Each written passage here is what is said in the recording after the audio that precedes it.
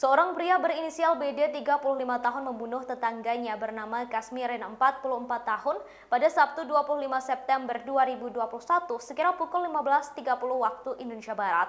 Peristiwa itu terjadi di rumah korban di Desa Tambakerjo, Kecamatan Rengal, Kabupaten Tuban, Jawa Timur.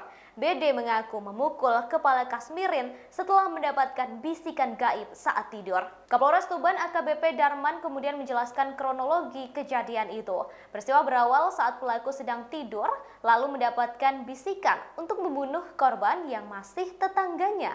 Setelah bangun, pelaku langsung keluar rumah dan langsung mengambil sebatang balok kayu sepanjang 60 cm di samping rumah korban.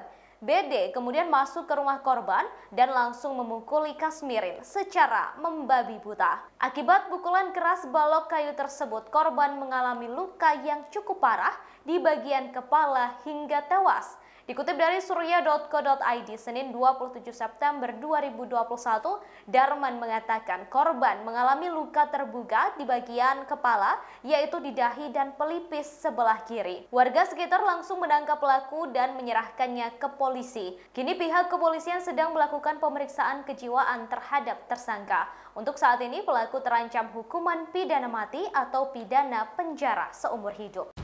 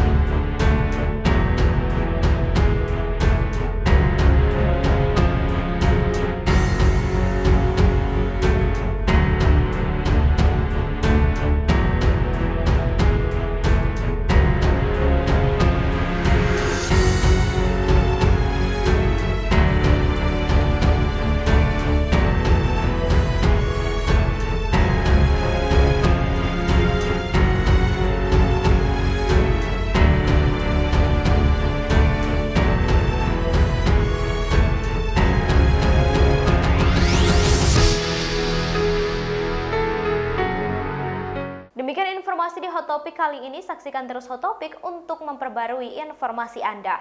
Terima kasih sudah nonton. Jangan lupa like, subscribe, dan share ya.